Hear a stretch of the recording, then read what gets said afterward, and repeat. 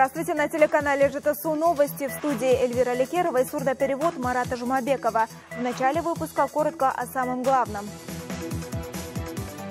Жить станет лучше, жизнь станет веселей. На совместном заседании Палат парламента глава государства поручил реализовать пять приоритетных задач для улучшения жизни населения.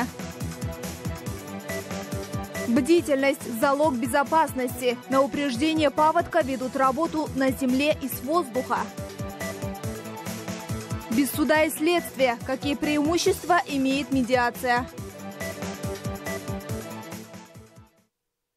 Сегодня в Астане прошло совместное заседание Палат парламента с участием главы государства Нурсултана Назарбаева. На заседании президент представил пять новых социальных инициатив, направленных на социально-экономическое развитие страны и улучшение жизни населения. Более подробно в материале корреспондента. Пять новых социальных инициатив предложил президент на совместном заседании Палат парламента. Они направлены на дальнейшее улучшение благосостояния каждого казахстанца. Основным его показателем является доступность жилья. Поэтому первая из инициатив направлена именно на новые возможности для приобретения крова. И программа именуется 7-20-25. Благодаря этому проекту условия ставки вознаграждения по кредитам не должны превышать 7% в год с первоначальным взносом до 20%. Тогда как на сегодня условия в банках более 14% годовых с первоначальным взносом не менее 30% от общей суммы. Также, по словам президента, срок кредита будет не 10-15 лет, как раньше, а 25. Это для того, чтобы снизить размер ежемесячных платежей. Надо задействовать возможности Нацбанка, банка второго уровня, фондового рынка. Национальному банку необходимо создать специальную компанию – которая привлечет не менее 1 триллиона тенге и направит на выкуп новых ипотечных кредитов, предоставленных банками на вышеназванных условиях. Реализация программы даст мощный импульс жилищному строительству в стране. В итоге повысится доступность приобретения жилья для миллионов казахстанцев. Это также будет работать на рост экономики, малого и среднего бизнеса, создаст новые рабочие места – я всегда говорил, что для Казахстана строительство, особенно жилищного строительства, имеет очень большой мультипликативный эффект. В 10 раз будет снижен индивидуальный налог для тех категорий граждан, чья заработная плата менее 25-кратного размера. То есть платить они будут лишь 1% от своего дохода. Новшество будет введено в жизнь с 1 января 2019 года. Это необходимо, чтобы высвобождаемые средства от такого снижения были направлены на увеличение оплаты их труда. В результате у не менее одной трети наемных работников страны, это более 2 миллиона человек, вырастет заработная плата без увеличения нагрузки на работодателей. В дальнейшем правительству нужно изучить возможности внедрения прогрессивной шкалы подоходного налога. В очередной раз глава государства делает ставку на молодежь. Будут обеспечены доступность и качество высшего образования. Станут также лучше и условия проживания студенческой молодежи. Глава государства поручил Министерству образования и науки начать строительство новых студенческих общежитий не менее чем на 25 тысяч мест до 2022 года по принципу государственно-частного партнерства. Из 530 тысяч студентов Казахстана 30% обучаются по государственным грантам. Теперь по инициативе Нурсултана Назарбаева к 54 тысячам ежегодно выделяемым грантам добавят еще 20 тысяч. Них 11 тысяч, если необходимо и больше, на обучение бакалавров по техническим специальностям, то есть там, где спрос есть для новой экономики индустриальной программы, которую мы проводим.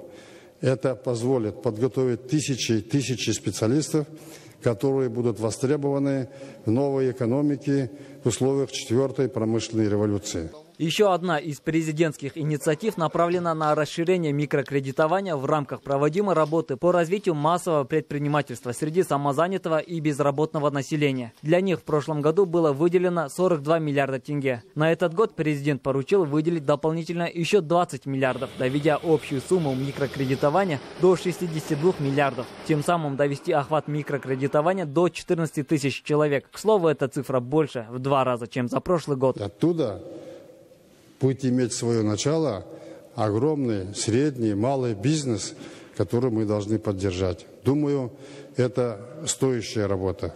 Эту работу следует активно продолжать в следующие годы в ходе развития. Значимость этой инициативы в том, что она позволит тысячам людей открыть свое собственное дело, о чем мы всегда говорим.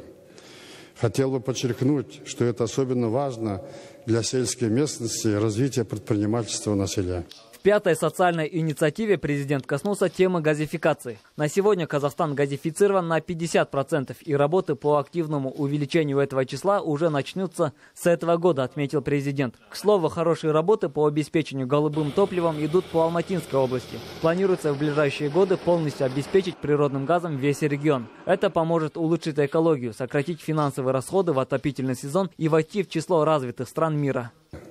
Вот пять президентских инициатив, которые я хотел сегодня вам доложить. Это наша общая работа. Мы достигли до этого, дожили до этого. И имеем сегодня возможность об этом объявить, имеем силы и средства, чтобы осуществить эти проекты. Реализация этих пяти инициатив позволит создать новые рабочие места, будет способствовать дальнейшему росту экономики нашей страны поручаю правительству, Нацбанку детально проработать механизмы их реализации. Прошу депутатов парламента своевременно внести необходимые изменения в законодательство, если это необходимо. Учитывая абсолютную значимость этих инициатив, требуется широкое обсуждение подходов по их эффективной реализации. Также важно провести подробную разъяснительную работу, чтобы все население приняло участие в этой работе. Мы смотрим вперед, а не назад. И я уверен, что вместе мы обязательно сформируем реалистичную, прагматичную казахстанскую модель социального государства национального благополучия. Подошло время предпринять конкретные усилия по укреплению дальнейшего социального единства нашего общества и сделать это через масштабные социальные проекты, подытожил президент. Все жители страны уверены, реализация пяти масштабных проектов поднимет уровень социально-экономического развития страны на новый качественный уровень. Иляман Раимбеков, Ринат Утеев, телеканал ЖТСУ. Удовлетворительно. Так, проделанную работу Ескельдинского района за 2017 год оценили местные жители на отчетной встрече. 2018 год обещает быть более плодотворным, отметил Аким района на брифинге в региональной службе коммуникаций. В планах построить врачебную амбулаторию на 25 посещений в день в селе Кукжазах. Для этого выделяется 165 миллионов тенге. Откроется 8 участковых пунктов, совмещенных с жильем. А на привлеченные инвестиции в районе планируется планируется провести реконструкцию Карабулакского сахарного завода, который простаивает с 2014 года. Это поможет трудоустроить порядка одной тысячи человек. К слову, строится и ряд других объектов. Это завод по переработке сои, молочно-товарная ферма и маслозавод. Бюджет района утвержден в э, размере 5 миллиардов 880 миллионов. Э, за счет бюджетных средств э, в районе будет проведена определенная работа по обеспечению питьевым, качественным питьевым водоснабжением. В четырех селах будут на 461 миллион проведены строительно-монтажные работы. Кроме этого, в селе Жастар будут проведены работы по текущему ремонту, замена водопроводных башни и ремонт водопроводных сетей. Значит, э, на ремонт автомобильных дорог 265 миллионов было выделено. Сельским участковым нести службу стало легче. В селе Шулакай Панфиловского района появился свой участковый пункт полиции. Численность населения Шулакайского сельского округа с каждым годом растет и сегодня уже превысила 5000 человек. В ауле действует 325 крестьянских хозяйств. Более 40 человек заняты индивидуальным предпринимательством. Открытие пункта полиции, которого в селе никогда не было, прибавит людям спокойствия, говорят местные жители. Я здесь родился и живу. У нас тут три села. За всеми проследить у участкового времени не было, поскольку он приезжал к нам из города. Чтобы увидеть полицейского и поделиться проблемами, теперь не нужно искать его по всем этим селам. Вот есть конкретное место работы. Я думаю, теперь скотократство и других видов преступлений станет еще меньше. На участке нести службу будет Ельдар Ченебеков. В правоохранительной системе он работает около 10 лет. Вместе с супругой воспитывают троих детей. Контролировать свой участок раньше ему было сложно. С открытием административно-жилого комплекса для участкового уполномоченного полиции работать стало легче. Крыша над головой есть, за семью переживать не приходится, да и офис рядом. Для этого населенного пункта прошлый год действительно стал плодотворным. Построено здание сельской амбулатории на 210 миллионов тенге. Еще немало дел запланированы на этот год. В этом году мы сделали запрос на реконструкцию водопроводной сети. Также выделен земельный участок на строительство ветеринарного пункта. Документы уже полностью оформлены. В целом, социально-экономическое положение села неплохое. Заметен демографический рост. Раньше в школе учились более 160 детей, а сейчас 235.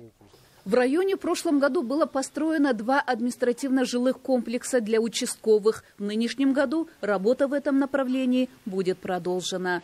Гульназ Мустафа, Ержан Дюсин, телеканал ЖТСУ, Панфиловский район.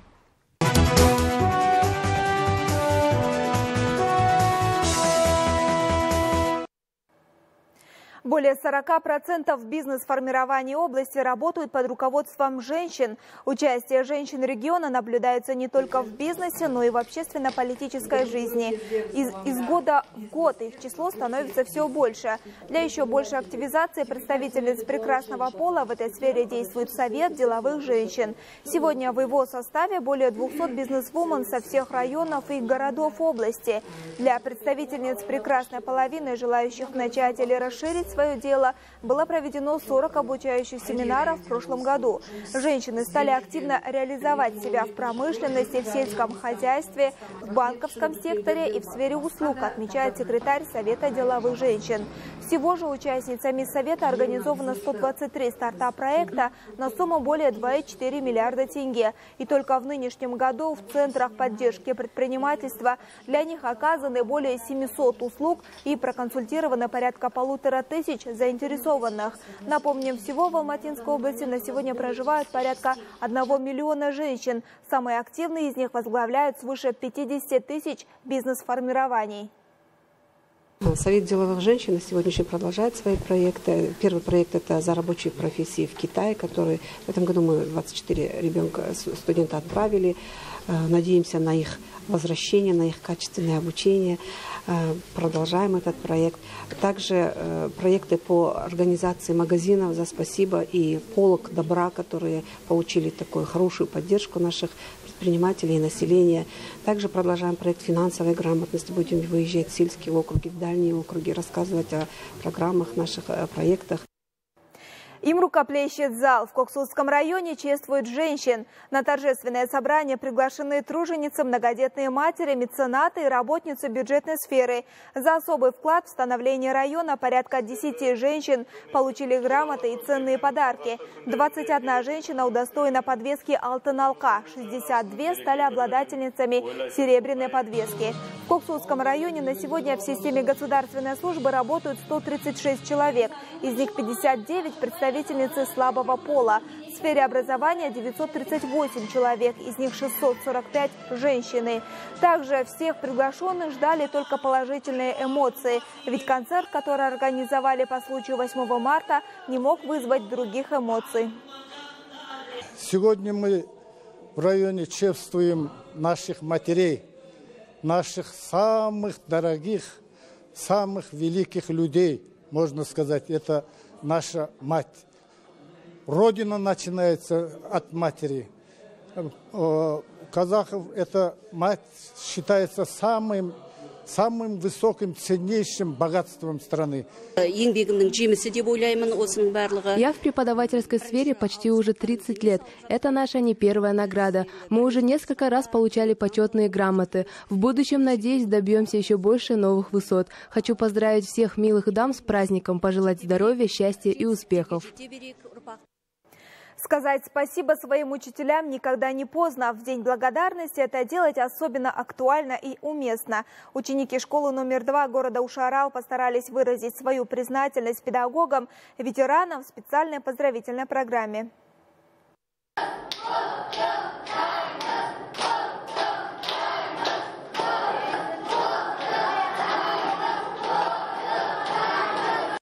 Наталья Посюгина училась в этой школе и после окончания института вернулась в родные пенаты уже учителем. С того самого времени прошло 40 лет. За этот период знания, добрую поддержку и заботливое внимание она подарила нескольким тысячам выпускников. Для каждого поколения она была своей, особенной, но всегда родной и любимой. Наверное, поэтому Наталья Посюгина – почетный гость любого праздника. А с появлением на календаре Дня благодарности ей уже официально говорят спасибо за все. И это ей, конечно же, по душе.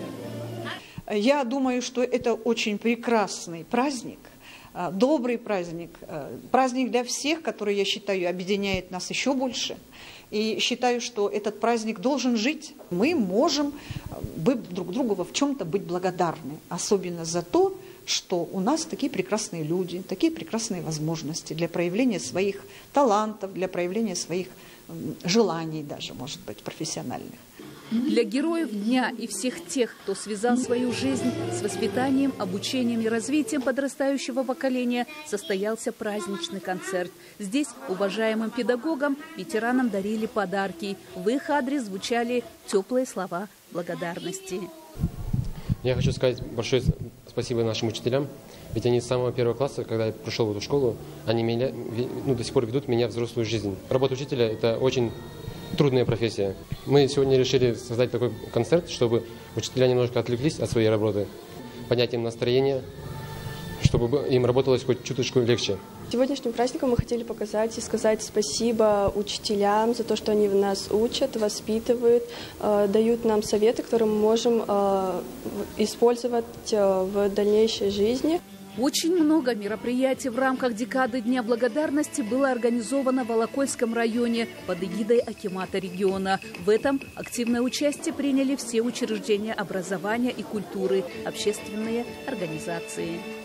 В целом было организовано 123 мероприятия, охвачено 15 500 населения а, нашего района, в том числе из них 10 тысяч молодежь, как активная наша сила сегодняшняя. В нашем районе проживает 73 тысячи населения, из них 16 э, видов этносов, а, три конфессии, религиозные конфессии. Все живут в мире, согласии, дружбе и в понимании. День благодарности всех этносов друг другу отмечается в стране третий год и пришелся по душе многим, поэтому празднует его не один день. Гульназ Мустафа, Айбек Ахшулахов, телеканал ЖТСУ, Алакольский район. Необычная конференция-семинар с участием лучших педагогов страны прошла в Карасайском районе. Учителя средней школы имени Абдрахмана Байжанова всего за шесть уроков продемонстрировали коллегам новый метод преподавания по обновленной программе. В чем новшество данной системы, расскажет наш корреспондент. Для участников конференции в фойе школы представлена миниатюрная Астана. Мини-экспонаты творения рук школьников. На создание этого шедевра ушел не один месяц. Старания учеников гости оценили по достоинству. К слову, тема выставки «Астана. Город мечты» выбрана не случайно. В этом году наша молодая столица празднует свое 20-летие. Мы рады, что для проведения республиканского семинара выбрана наша школа. Мы, как одна из экспериментальных школ, изучающая обновленную программу, готовы делиться накопленным опытом. А этот семинар стал хорошим подспорьем для обмена знаниями. Ведь здесь собрались лучшие учителя со всей страны. Для нас честь принимать их у себя. Всего семинар состоит из шести показательных уроков. К слову, прошли они не совсем в привычном формате. Вместо долгих и скучных лекций с вопросами и ответами ученики провели дебаты, а тем для дискуссий нашлось немало. Бұл семинардан үлкен әсермен қайтып отырмын. Себебі этот семинар меня впечатлил. Мы многое узнали. Полученный опыт мы будем использовать при проведении занятий у себя в школах. Думаю, что этот метод эффективен. Семинар пошел всем нам на пользу.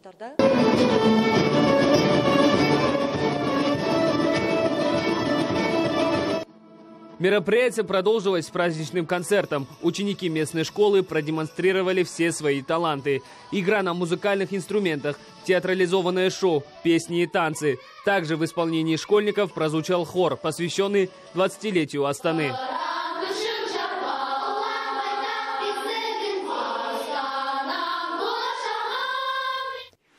Азад Жумаханов, Дамир Анитов, Аманджол Джонкешев, телеканал ЖТСУ, Карасайский район.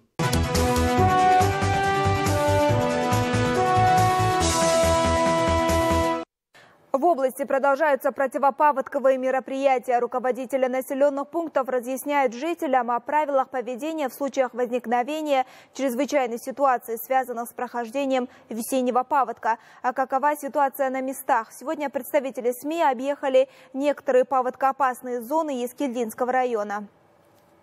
Закир Албакиров, житель села Карабулак, работает водителем машины скорой помощи. 3 марта в 2 часа ночи на улице Байсиитовой произошло потопление шести дворовых участков. Пострадавшие сразу обратились в службу ЧС. Железнодорожный мост забило. Лед не обдолбили. Вот это, что забила вода, что вместилась, она сюда в поселок пошла. По огороду, вот по полю, здесь поля. Ночью жена позвонила, нас топит, говорит, и я поменялся, Приехал, а здесь уже с ворот вода шла. Ну, сейчас нормально, стабилизировалось. Ночью он, Аким тоже ездил, смотрели. Потом технику вызвали, большой экскаватор, потому что маленький туда не возьмут. Прочистили, сейчас ушла вода. Осадков нынешней зимой в районе выпало немало, говорят местные жители. И хотя подготовка к паводкам началась еще в середине февраля, резкое потепление свое дело все же сделало. Большая вода пошла. Дополнительная техника и круглосуточный режим дежурства позволили избежать массовых потоплений жилого массива. На сегодняшний день в Вискельдинском районе в противопаводковых работах задействовано порядка 20 единиц техники, а также приняты все меры по расчистке водопропускных сооружений. Самые большие головные арки все сейчас чистим, чистим вот с того дня. Каждый день мы не отдыхаем. Уже вчера а, с областной водхоза нам да, выделили техника. С это со, своим силами здесь.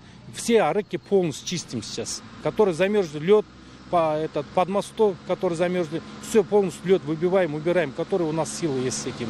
Но мы надеемся, что такие больше паводки не будет. Район полностью готов к любым капризам погоды, заверяют специалисты. Штаб по предупреждению паводков контролирует потенциально опасные участки. Но все же наиболее опасным участком для района является село Ешкуэльмес. После неоднократных потоплений несколько лет назад в окрестностях села прорыты отводные каналы. В 2006 году и 2010 году были подтопления вот э, этого села. Э, после этого мы приняли вот эти серьезные меры, и в результате сейчас последние 8 лет э, подтопления нет. И, а транзитом с ущелья вода вливается через наши отводные каналы, ну, а реки, в реку Кусак. Напомним, на прошлой неделе в четырех районах Алматинской области талые воды подтопили ряд населенных пунктов. По данным департамента по ЧС, пострадало порядка 250 дворов. Каждый пострадавший получит компенсацию. Об этом сообщил Аким области Амандык Баталов, лично побывавший на потопленных участках. К слову, в этом году на противодействие таким капризам погоды из областного бюджета было предусмотрено 2 миллиарда 700 миллионов тенге. На сегодняшний день на территории области продолжается противопаводковое мероприятие. А, для нас а, период с 24 февраля по сегодняшний день был бы как в роли генеральной репетиции. А, в этом году зима была аномально холодной, грунт примерз до метра, вода, воду земля не принимает, поэтому большая вода пришла, пришла в населенные пункты. На сегодняшний день нами принимаются меры по э, сооружению э, водоотводов, речных каналов, дренажных систем, чтобы отвести воду от населенных пунктов. Э, по области выкопано более ой, около 100 километров. Сейчас в каждом регионе области в круглосуточном режиме на паводкоопасных местах работают оперативные штабы. Кроме того, контроль идет из воздуха. Сегодня первый заместитель Акима области Лязат Турлашев совместно с начальником департамента по ЧС провели воздушный рейд по территории области. На сегодняшний день паводковая обстановка стабильна на, вот, на территории области. Мы сегодня вот облет сделали горы э, Текелинский, Текель, Искельдинский район, э, Сарханский район почти охватили. Сегодня, на сегодняшний день равнине почти все снег ушел. А в горах на 15-20% меньше, чем э, в прошлом году. На сегодняшней сводке по 67 сантиметров в прошлом году был, в этом году 57. Вот такая обстановка на сегодняшний день. Все под контролем. А вот насчет Маринных а, озер, Маринных озер у нас открывается в мае-июнь. А, Кассели защита, они соответствующие меры примет, спуск воды, там, сифоны будут ставить.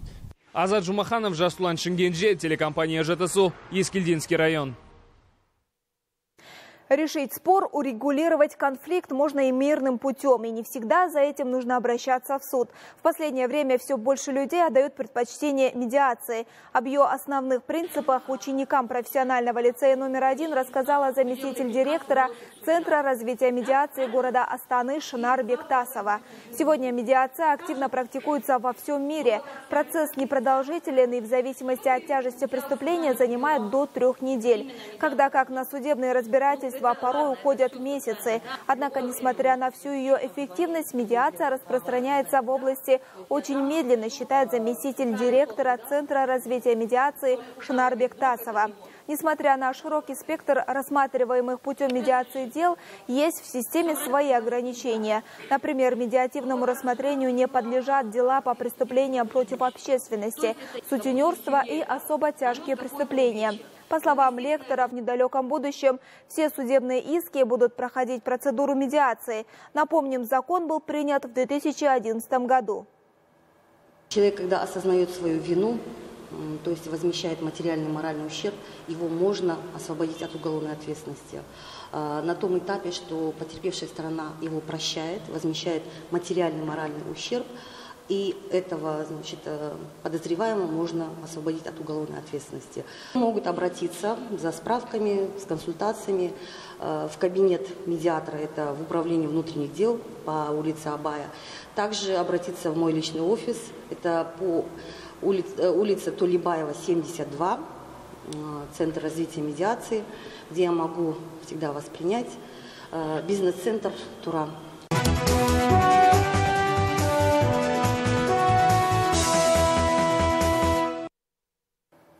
В минувшее воскресенье в Казахстане отметили Международный день большого тенниса. Спортивный праздник в Талдыкургане прошел в теннисном центре ЖТСУ с участием детей, воспитанников программы «Теннис до 10» и их родителей. Были приглашены также все желающие познакомиться с этой увлекательной игрой. Всемирный день тенниса впервые начал отмечаться в 2013 году и был утвержден Международной Федерацией с целью продвижения и популяризации данного вида спорта по всему миру. Теннис, э, он присутствовать в вашей жизни может практически каждый день. Для этого не нужно иметь э, э, собственный корт или целый теннисный центр. Сегодня вот современные технологии позволяют иметь мини-сетку, ракетку и мячик, и это уже может вас сопровождать на любом вашем активном отдыхе. Поедете вы сегодня на Балхаш или на Алаку, или просто выйти вы на речку э, со своей семьей э, в выходные дни.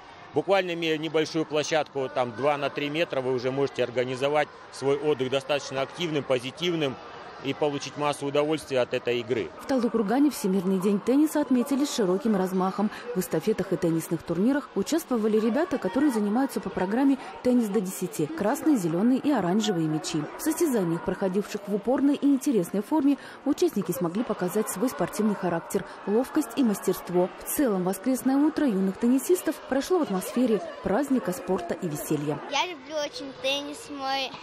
Теннис как мой родной дом. Я уже два года играю в теннис. Я хочу стать как Шарапова. Я хочу набивать удары, как у нее. Я хочу стать чемпионкой тенниса. Продолжить обучение любимой игре на более высоком уровне, чтобы добиться заметных результатов и далее во взрослой возрастной категории вместе с Дельнас планируют и все остальные участники соревнований. Самое активное участие в спортивном мероприятии приняли и родители юных теннисистов. Мы с удовольствием семейно пришли на такое мероприятие, большое, организованное э, теннисным Федерацией тенниса ЖТСУ. Э, сегодня день, э, Международный день тенниса. С удовольствием семейно пришли поиграть, закалить дух, как здоровье поддержать. Считаем, что этот праздник очень необходим для нашего города. Впереди у спортсменов 9-10 лет участие в областном турнире «Оранжевый мяч». Он даст им возможность проверить свои игровые навыки и умения перед более крупными республиканскими стартами. Лилия Штогрина, Абзал Мусипов, телеканал ЖТСУ. Это была вся информация уходящего дня. Спасибо за внимание и оставайтесь на нашем телеканале.